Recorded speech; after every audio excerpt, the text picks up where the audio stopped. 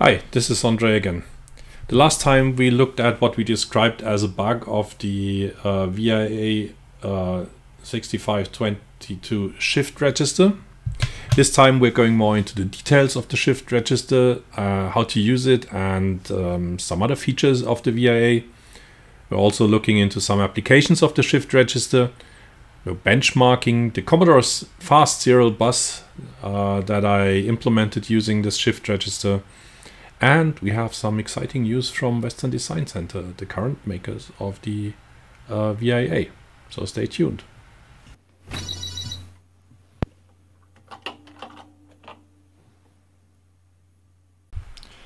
So last time we looked at the shift register and uh, what may be a potential problem with it um, or depending on uh, how you use it. And today I want to go more into the positive side and show you some very exciting uses of the shift register where it functions absolutely well. Um, and uh, one of the most important things that you do with a shift register like this today is SPI. So let's look at into some SPI and other applications of the shift register. Just a little recap. The VIA 6522 is an I.O. chip. It's called Versatile Interface Adapter because it has a lot of flexible I.O. in there. Um, and besides the uh, processor interface here, um, you have two 8-bit ports and each of the 8-bit ports has two uh, additional control ports. And uh, we're going to talk about some of the features uh, in that chip uh, later on. There's also timer in there. And uh, the CB1 and CB2 can be used uh, for shift register operation, which means that you can shift out serial data or shift in serial data on CB2 and have the uh, clock of that uh, shift uh, on CB1 either going out or, or coming into to the device. So with several modes for um, shifting out and in. So you have uh, depending on timer and, and clock source. What we call the shift register bug is that uh, when shifting in and or shifting out under external CB1 clock control, the CB1 input um, receives a shift clock and on the low high transition the VIA is supposed to uh, latch in every bit of data uh, from on the CB2 uh, data input line. However, on specific conditions and relations between Phi2 system clock and CB1 input shift clock, and we'll talk about that uh, later in more detail.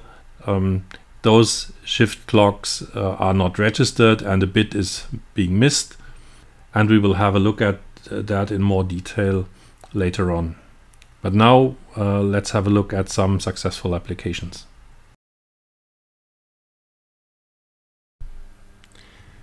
Let me show you how I implemented the SPI interface with the VIA shift register. So I've written it up on this web page that I'm going to link in the description below. The schematic is actually totally simple. Um, there is the shift register interface on CB1 and CB2 that's that is being used, and there is the 8-bit port for the other side of the communication. Because the reason is you can only shift in one direction with the shift register, but uh, SPI is a bidirectional protocol and, and is a um, well kind of full duplex protocol because you send out eight clock pulses at the same time you send data and, and at the very same time you also receive a byte of data. So the, the mode I've uh, decided to use is I shift out on the VIA shift register. So it, the VIA generates the data and the clock lines, which are going over here to that uh, XOR gate, which I'm talking going to talk about a bit in a moment. And the data that's coming in is going into that simple shift register uh, IC. It's a simple 74LS164. You can use HCT or whatever. Um, that takes the zero data, takes the SPI clock, and converts it into 8-bit parallel data. So that's totally easy. However, there are some complications due to SPI modes. Now let's look, what are SPI modes? So um, this is by, by the way taken from the uh, Wikipedia page for uh, for SPI. Um, unfortunately, there is no real standard for SPI, and so four modes are possible. And you can see them here with the notation of uh, clock polarization 0 and 1 and clock phases 0 and 1. And the, the difference between those is on which phase of the clock, which means is it the first transition of the clock signal or the second transition of the clock signal that the data is taken over by the device. In clock phase 0, it's the first transition of the clock signal. In phase 1, it's the second transition of the clock signal. And depending on the clock polarity, that's either rising or falling edge. So what you can see here, and when you compare it to the um, uh, shift register um, description in the datasheet, you can see here that uh, the shift clock is this one. It's uh, typically high, idle high, and then it has low pulses for each bit. And it shifts out the data after uh, the clock goes low. And then when you look at the, the corresponding diagram, it shifts in the data when the clock goes high. So if you look at the um, SPI modes, this is basically clock polarity 1 and clock phase 1. So this is actually mode 3. So what do you do with devices that are not um, not mode 3? So you can you can easily invert the clock um, and then you get uh, polarity uh, 0 but you cannot easily convert the phase because it is as it is. The VIA shifts out the data on the first clock transition and uh, shifts in on the second clock transition. To implement the other modes, I took advantage of the fact that the data of the uh, shift register output changes after the first transition of the clock. So there is a certain delay. The datasheet says there's uh, the first after the first phi 2 clock, system clock, after shift clock, then the data is going to change. So there's a little hold time and uh, so what what we need to do is we need to make sure that this bit here, the, fir the, the first bit is already there. And then using the VIA, it, the data would change at this red line, but it changes a little after that. So yeah, I, I took I took advantage of that uh, of that uh, delay in the VIA and the hold time, uh, so that the devices that are using um, phase phase zero all uh, um, uh, can take over the data on this uh, on this first clock transition and still have it stable for at least some some minimum time uh, on on the, on the data line. Your mileage may vary, um, but is, this is how I actually implemented SD cards because that that's how SD cards work. And what did I do? I used these XOR gates to uh, invert um, the, the, the clock and the, and the data line as needed.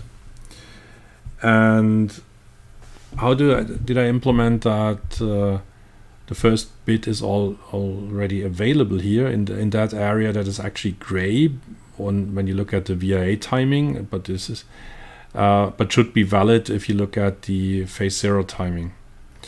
And what I make sure is that when I shift out one byte, the, that the last bit is always zero and the last bit is still on the data line when you start in the, the first uh, when you start uh, shifting in here. So but yeah how do I make that? Because and that that's then then easy because if I know that the last bit here is always uh, the last bit uh, which is always zero uh, and I have to shift out bit 7 because this is the order in which the bits are shifted in, in, in SPI and I have to shift out uh, um, a bit 7 of 1, I just invert the data line and also the rest of the, of the, of the bits. Um, so that the, the actual bit 7 is already there set basically manually and then the shift register bit 7 is set as the second bit that is taken by the device and so on and the last shift register bit is actually the one after uh, the device has taken hey, taken in the last byte so I can I can so it's ignored by the device and I can make sure that that I can use the fact that I can keep it zero and then invert it on the on the next one. And that's uh, here in the code. So the first the first uh, thing we do is uh, I make sure that the the last bit that is shifted bit zero is is is, is zero. And I take the the bit seven into the carry using this this uh, opcode arithmetic shift left and if that if that bit is also zero, I just store the byte into the shift register and uh, can send it. But if that byte is, uh, if that bit 7 of the data is, is 1, I have to invert, um, uh, I have to invert the, the data line and then because I have I invert the data line for all the transfer, I also have to invert uh, the actual data that I store into the shift register. And uh, yeah then then I can uh, go and wait uh, until uh, until it's finished. And then I, I reset the inverter again. And then that makes sure that at the next byte the data is um, uh, is, is zero on the, on the line. So um, yeah this way the VIA can actually do SPI mode zero given a little bit uh, um, yeah on the on the in on the on the hold time of the data but I made managed to do SPI uh, cards with that setup.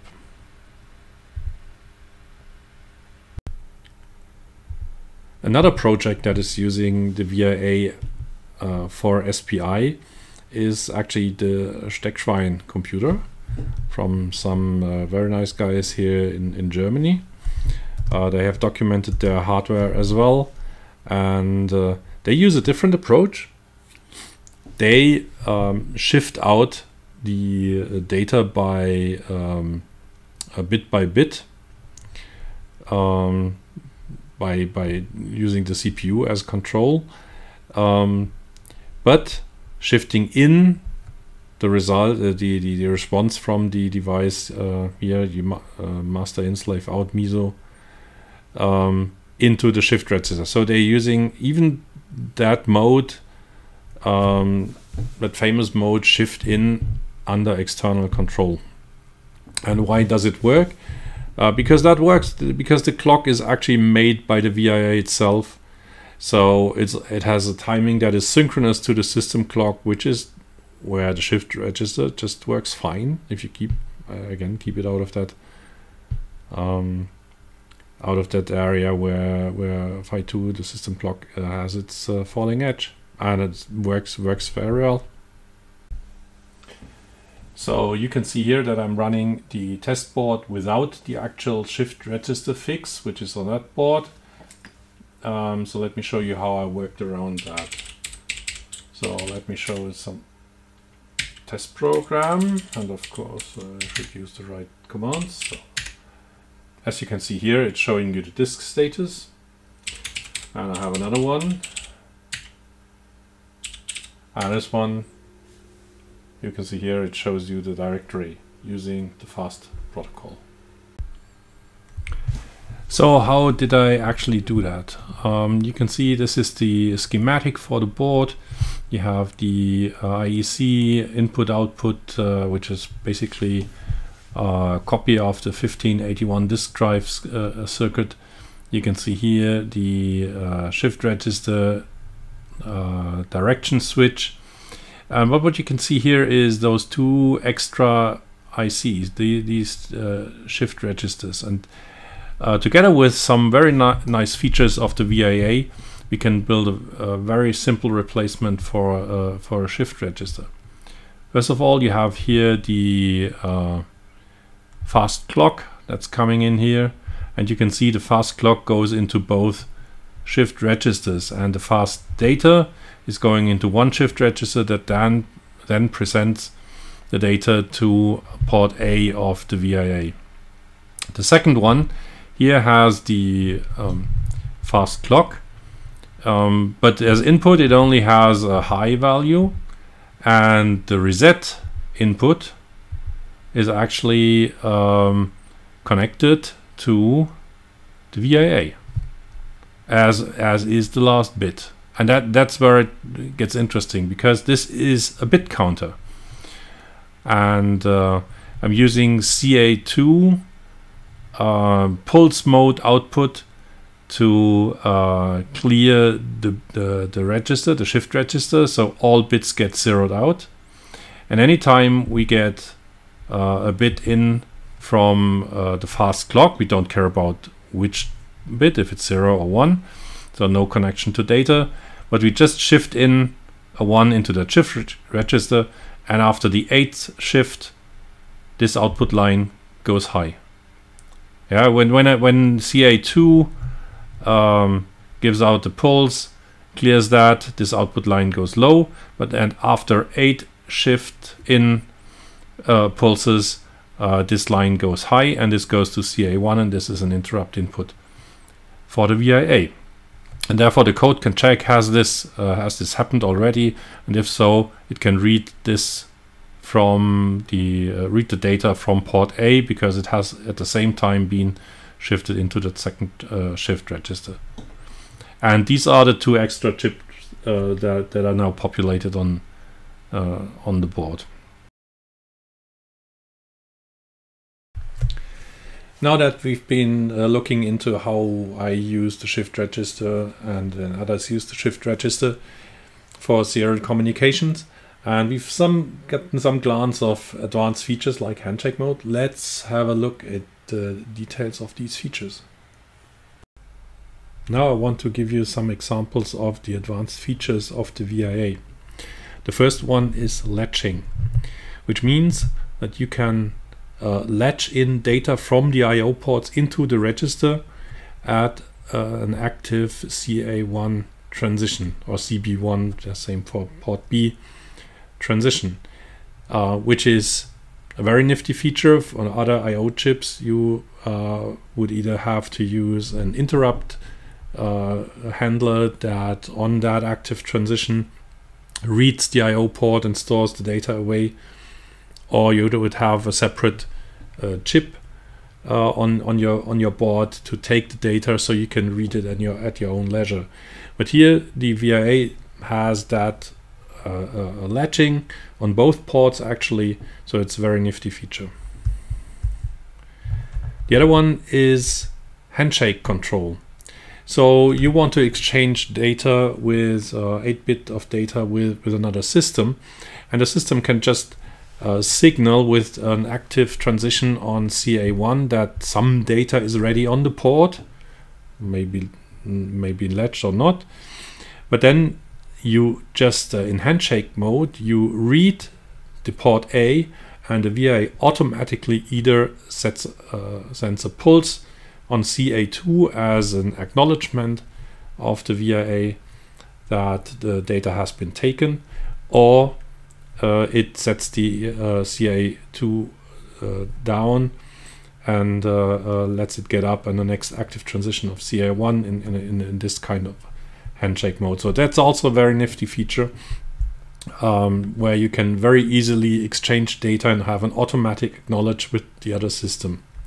And the same happens uh, with uh, uh, write handshake as well. The VIA has two timers.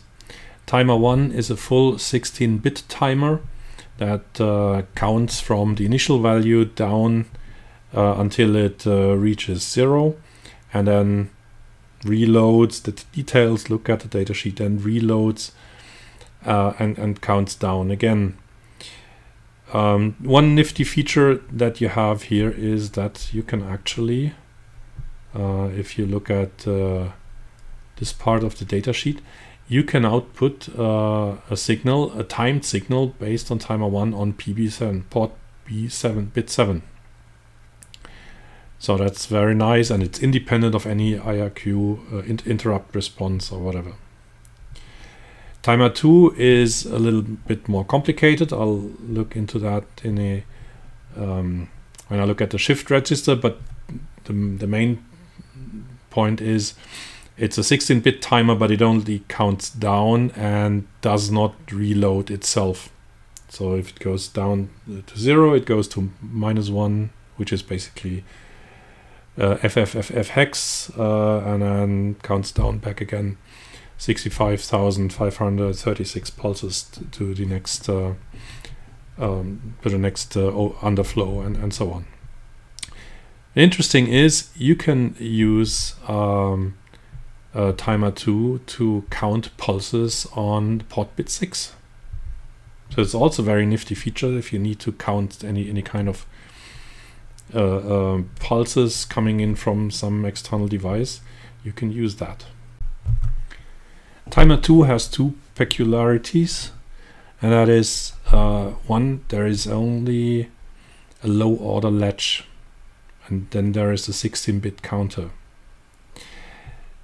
so why is that why is that important because the high order counter just counts down from the values you set it and then there's no way where the VIA should take uh, the value from to reset the timer to a specific value when it underflows which is different from timer 1 which has high order latch.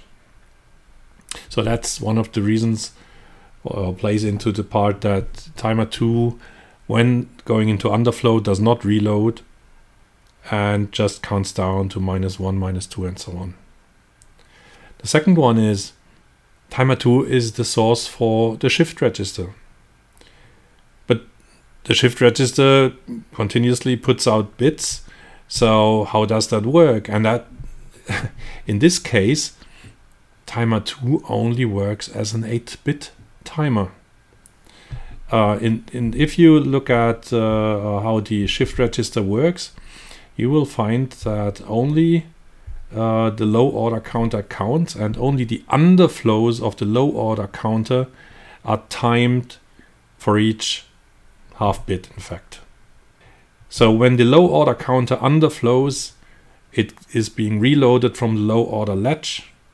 But the high order counter just continues to go down and is totally ignored. And that uh, becomes important when we look at uh, how we can uh, send out a byte from the serial shift register, which is the next part. So this is the code that the fast serial bus uses to transfer a byte. First note that when we enter that routine, the serial, the shift register is in input mode and waiting on clock pulses from CB1 because that's the standard in, in that uh, serial protocol. And every time you want to send a byte, you have to switch over to sending mode, sending based on timer 2 in this case. Um, this is this is different from probably other operations because in other operations you, you usually keep it in one mode and, and it stays there and you just store store a value into the shift register and it and it's uh, it's sent out. But uh, showing you how the shift register reacts when you switch the modes uh, sheds some more light on the internals and and the, and the things you have to you have to take care of and also explains how this how this uh, protocol is implemented with the shift register. If we enter the routine, as I said, the shift register, uh, the shift register is in input mode. The timer 2 is in normal mode, which means it's a simple 16-bit timer. Even if you started with the value of 1, so low low byte of the counter is 1, high byte is 0, it will have underflown and it has gone through minus one, which is FFFF hex, or and then counted down whatever it may be at any any one number. And when we when we um, then start to uh, uh, switch modes of the shift register to output with uh, timer 2 It still it may be in any kind of number. It's maybe just a few, couple of cycles after we entered that uh, that routine, but still it may be in any kind of cycle. And so the next underflow happens at some point we don't know. And um, only when that underflow happens, the shifting actually starts. So you can see here that I try to kind of uh, graphically uh, describe how CB1 uh, clock output is working and where the CB2 data is coming out. But uh, you, you cannot say at what, what point in time this timer um, when, when you start the timer, the, the shift register output based on timer 2, when the first bit will actually happen. So, and therefore, we in, the, in this routine, we store the value in the shift register, so we are prepared that shift can happen anytime. We switch the direction of the drivers to output, and then what we do is we restart the timer. And what changes when we restart the timer? The timer then is reset. We store any value into timer high. In this case, it's uh, this value, may, maybe something similar, uh, depending on the, on the state of the port B. I've just taken this value as an example. Uh, but the low timer low value is taken from the latch.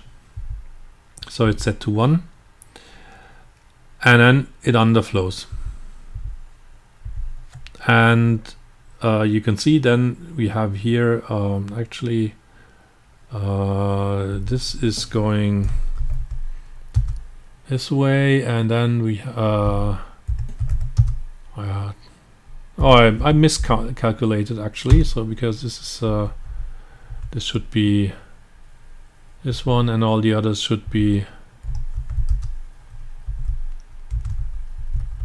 one down. So I've updated the numbers in the meantime. So when the timer is reloaded, low byte is set to 1 as it's taken from the timer uh, low latch, timer 2 low latch. And then it, then it counts down and then it underflows. And when it underflows, low byte of the timer goes to 255 FF hex. And then we have basically 255 cycles until the next underflow, which is quite an amount. And that doesn't change when we um, when when we enable shift register output based on timer 2.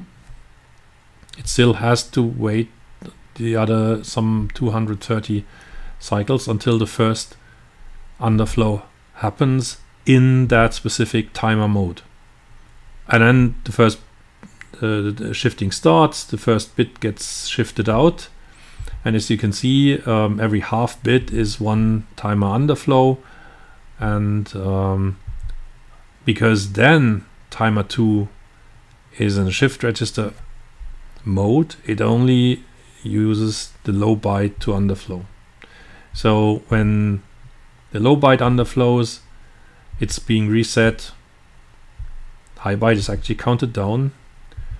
And then the low byte underflows uh, it, oops, uh, and then the low byte is set from the latch again.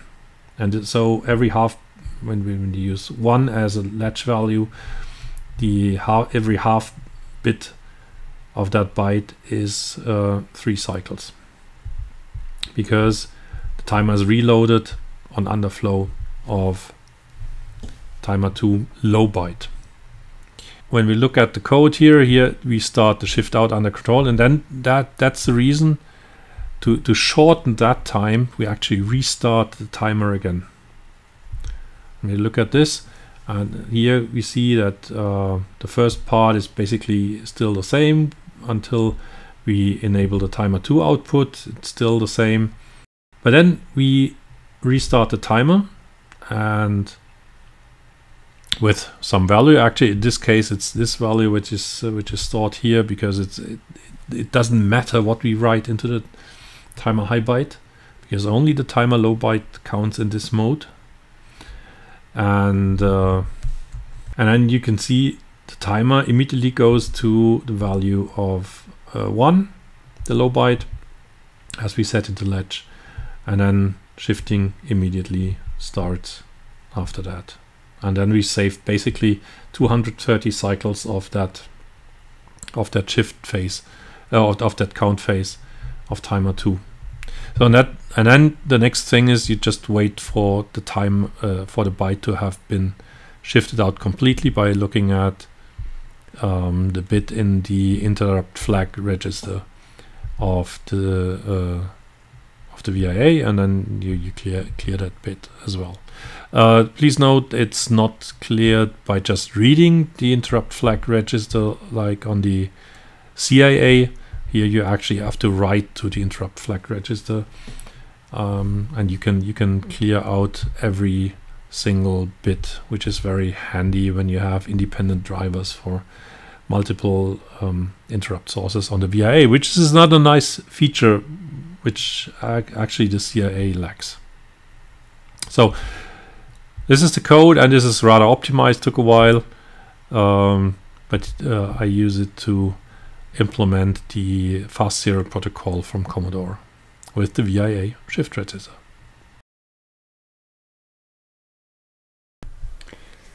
Now that we've looked at various way of using the shift register and how you configure it and, and so on, what's it now with that bug?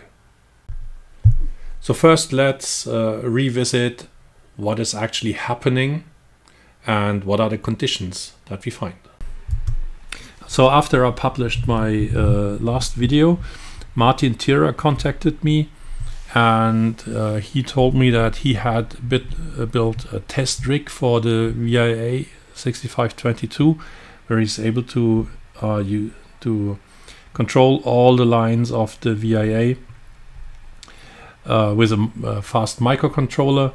And uh, he collaborated uh, with me to create the appropriate tests and uh, the first test uh, he did was with the MOS 6522. Let's look at the results. So let's look at the result uh, that Martin got with his uh, test setup. Here's the uh, logic analyzer um, output and uh, there are the various signal lines that he has captured and he has written a decoder for that so we can very easily zoom in to specific places. What you can see here, I um, show the most important ones. This is phi 2, this is read minus uh, write, uh, chip select, and here the shift register, clock and data. And the test setup is as follows. First, the auxiliary uh, control register is written to set input from external uh, from external clock. Uh, then you're writing a zero into the shift register. And then we're reading the shift register to see it's actually still zero. And after the whole uh, test, we see the shift register is not full of ones as we would expect because as we can see here during all of the shifts that we have we see that the, the data input is always one and we have eight shift pulses. But what we can see here is, of course, uh, that only three of the bits have been shifted into the shift register. So what Martin has done, he has uh, been varying the time between the uh, rising edge of the shift register clock and the falling edge of phi 2 and in this case you can see here it starts with 80 nanoseconds. Uh, if you look up here 80 nanoseconds uh, for, the, for the first bit. And when we go to the to a later one like here so we see, for example, we have this one.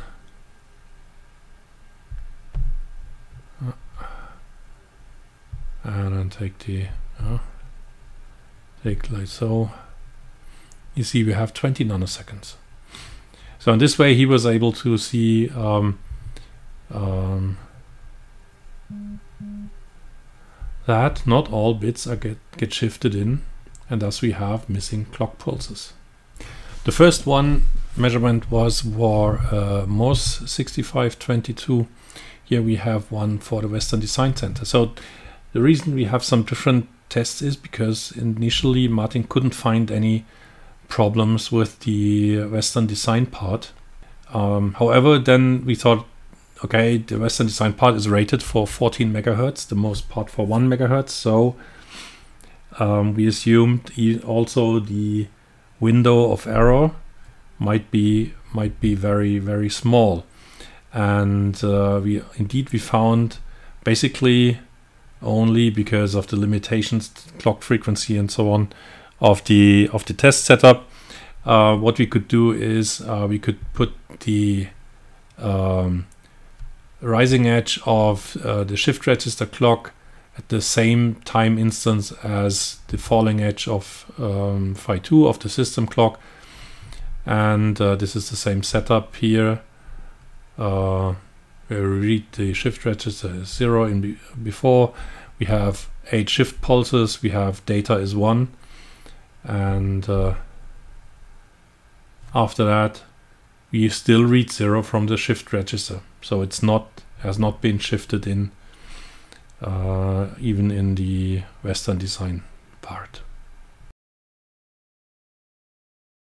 So we've seen that shift pulses uh, get lost during shift under external clock, which we think is a bug.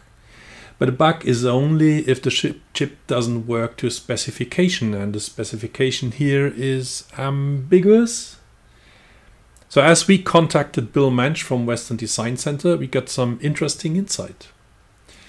The VIA shift register was not intended for asynchronous clocks, that is, a shift register clock that is not fully synchronized with the actual VIA system clock. He clearly mentions it as a synchronous serial port. If it's not, it was not designed for that use case, we can't really blame it up to be a bug, can we? When the VIC-20 development started in 1979, Bill Mensch had already left Commodore to found uh, Western Design Center, licensing the 6502 and 6522 technology as it was. Obviously, nobody from Commodore talked to him about the problems they had, uh, which he considers weird, so this asynchronous use case was only coming uh, to his attention by communication from Garth Wilson from the 6502.org forum uh, and me when I was researching for that uh, for that video. So what will Western Design Center now do about that? First, they will update the documentation with this usage and uh, how it should be handled and with, as I understand, the fix that Garth Wilson has proposed in the forum and that I also presented in my last video. Second, Western Design Center will make sure that the uh, hardware description language versions, the, the soft core logic versions they sell, will work properly for that use case. And third, they will continue to supply chips with the current state. So with that more synchronous side of, uh, of shift register use. But if they need to create a new mask revision uh, for whatever reason, they will enable the asynchronous use case of the shift register uh, then, finally. So let's hope that at some point in time we will hopefully get a fixed VIA.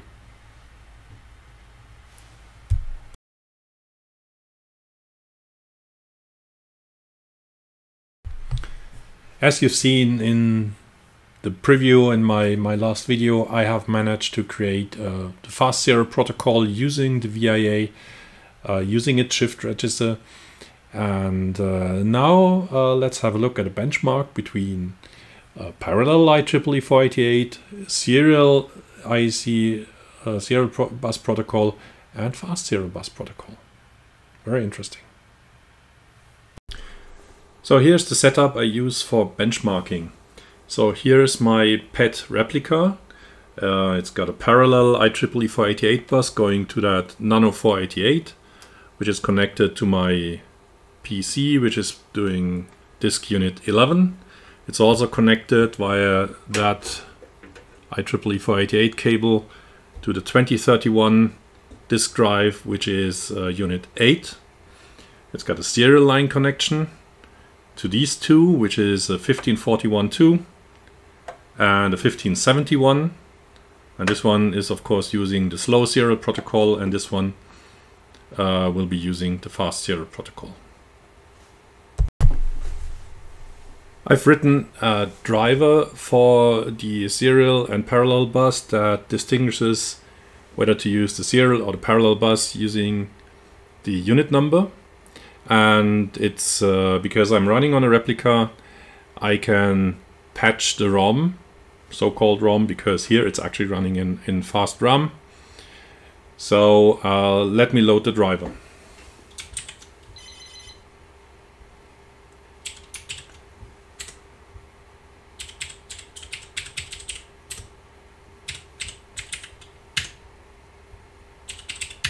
So now the driver is installed and I can do a unit, uh, the directory on unit 8. I can do a directory on unit 9. Uh, maybe not. Okay. And I can do a directory on unit 10.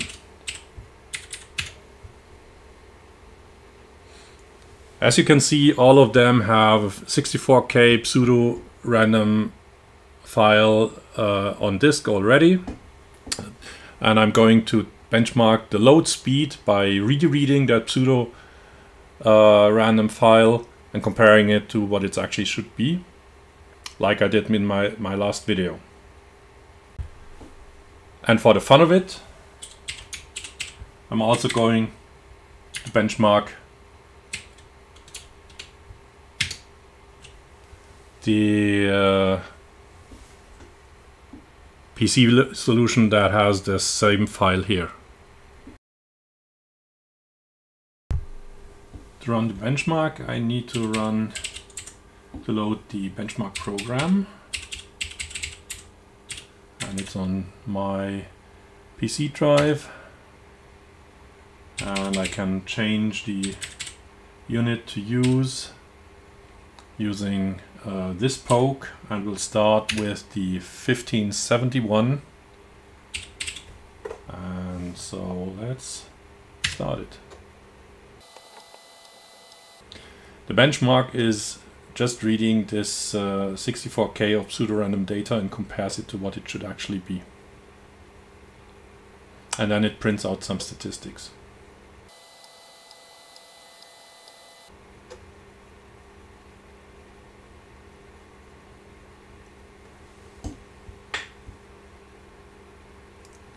So close to a minute. Now,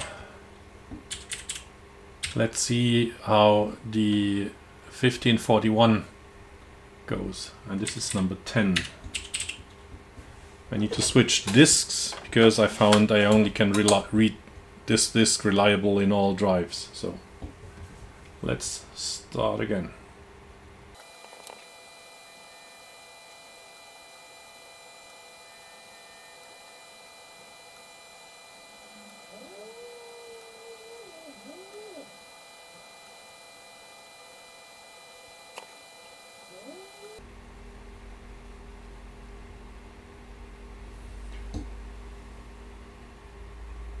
So that's really a lot slower. Now let's look at the original drive.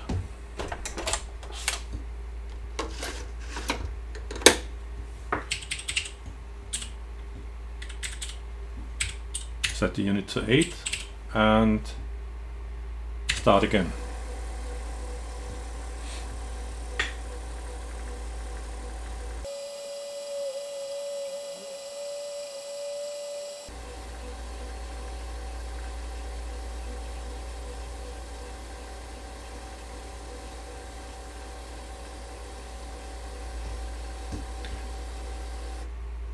Nice, isn't it? It's basically as fast as the fast serial bus from Commodore. And now for the fun of it, let's test. And of course, during my last test, the camera went out. So let's redo it again with drive 11, which is the PC drive. And then let's see how long that takes. Ah, sorry.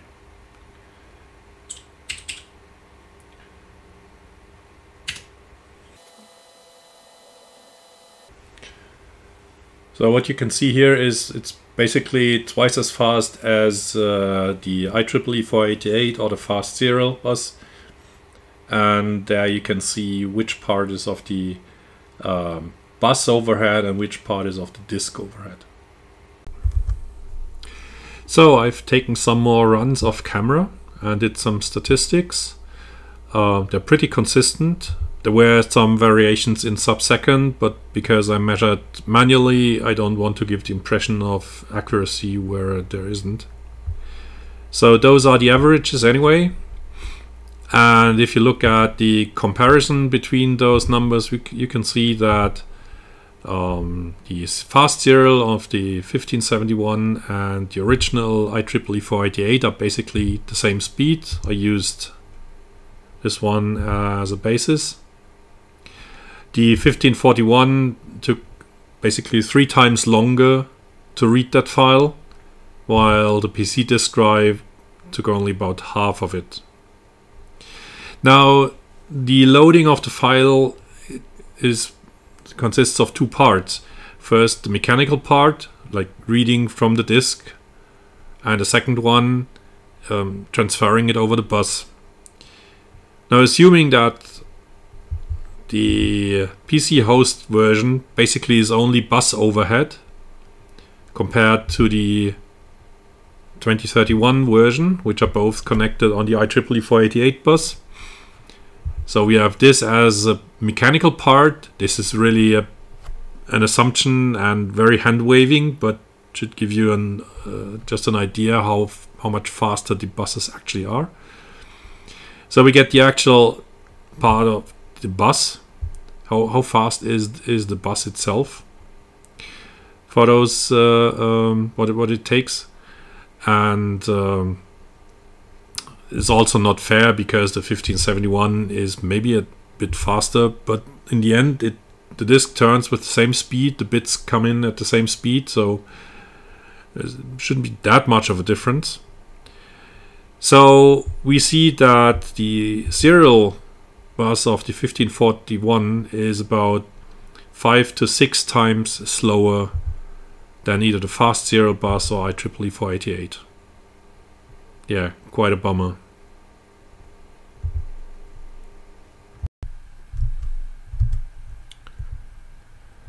One additional note here.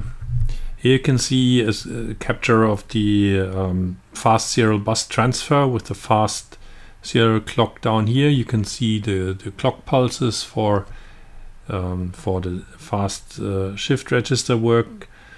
And uh, you can you can actually see one is faster than the other. That depends on the timing parameter. I believe this should be as I send it to the drive and this is I think the drive sending to me but it could be reversed. Um, but what you can see also is that there still is quite some overhead which is uh, um, depending on the bus protocol overhead here and also the, the overhead that is uh, required to actually process the byte on on on the bed.